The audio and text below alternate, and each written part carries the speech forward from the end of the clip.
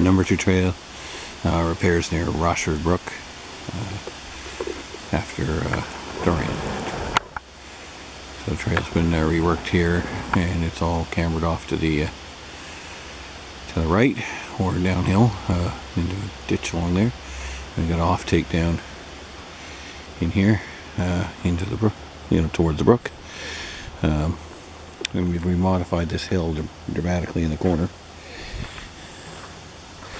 So we took about uh, four feet off it, and well, maybe five or six actually, and uh, brought it down into the structures here. So we've got heavy armor here on the uh, inside.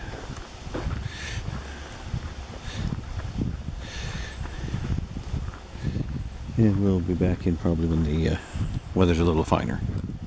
Place a little more rock, but it's uh, kind of a little damp in here right now. So we're going to place a secondary layer of rock down here on the uh, right hand side. And uh, so anyway, that's kind of what it looks like at this point.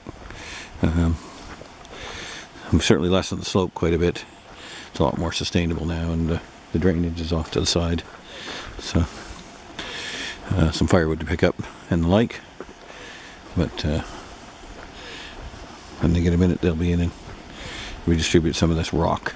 So you see piled here. That's what it looks like. New culverts installed.